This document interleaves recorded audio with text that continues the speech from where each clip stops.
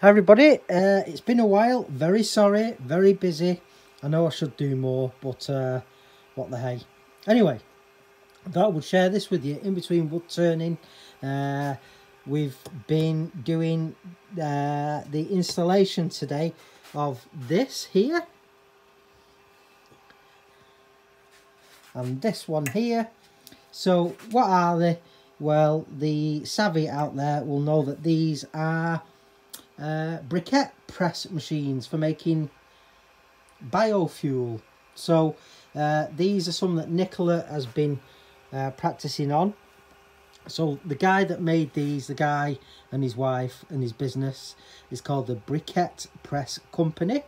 Uh, and here, when Nicola presses her briquettes now, they're going to be called Nix Brix. Uh, so You've got this one which will make the full sized brick. And then this one over here does it a different way. This one will make a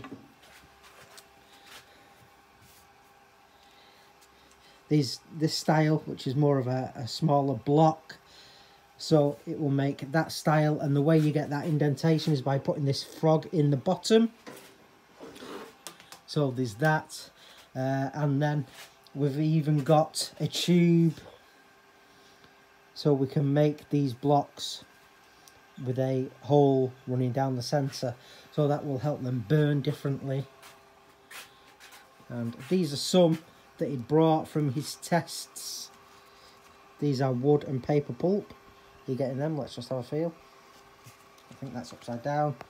So obviously it's going to stamp Nix Brix on them so you got them there and then these smaller ones they've been dipped in wax soy wax to uh, be used as firelighters so there you go. That's the actual machines and out here he even supplied uh, these tubs to get us mulching on a larger scale. So We've we've been saving our wood shavings and things and paper. So we're going to have one for sawdust and shavings, one for paper. We're going to go 50-50 mix. And this one in here, that's got some coffee bean grounds in there. So uh, you're gonna you'll be able to burn uh, eco fuel with the beautiful aroma of coffee. Uh, and there's they were the two smaller trugs that we had to start mulching in but he brought us these tubs so we can do it on a larger scale. Uh, so there you go. I thought I'd share that with you. So yeah we generate that much waste uh, eco waste uh, wood shavings and Nicola paper from her office. Uh, we are yeah gonna upcycle them into eco-friendly fuel. Oh and he even brought us this. He made us this.